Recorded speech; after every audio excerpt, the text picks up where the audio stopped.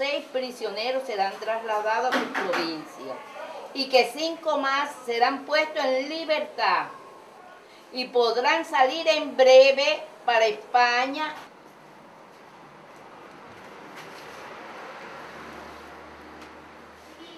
En estos momentos me siento muy emocionada y no esperaba una noticia como esta.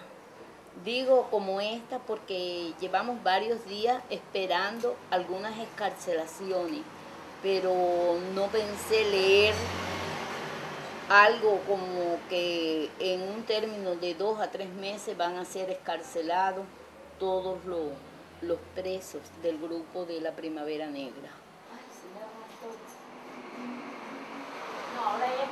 Vamos entonces a, a, pedirle a Dios porque liberen a seis más, no solamente a este, sino a seis más. Vamos a seguir luchando porque no te podemos dejar morir. Tú eres en estos momentos nuestro objetivo fundamental. Ah, sí, acabo de hablar con el Coco.